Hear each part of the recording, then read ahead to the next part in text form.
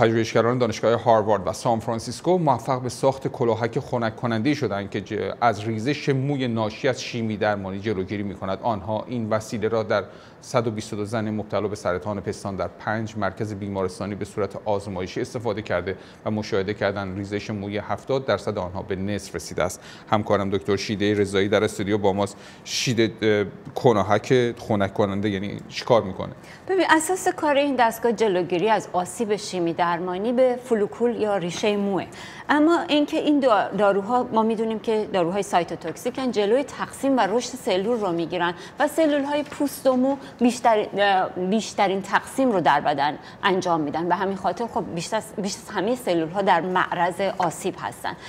اما اینکه چطور این دستگاه جلوی کارشون رو می‌گیره نحوه کار شبیه سیستم خنک کننده یخچاله. آب سرد از طریق لوله های تعبیه شده در این کلاه به جریان میفته دمای پوست سر رو پایین میاره به 3 درجه سانتیگراد یا 37 درجه فارنهایت میرسونه.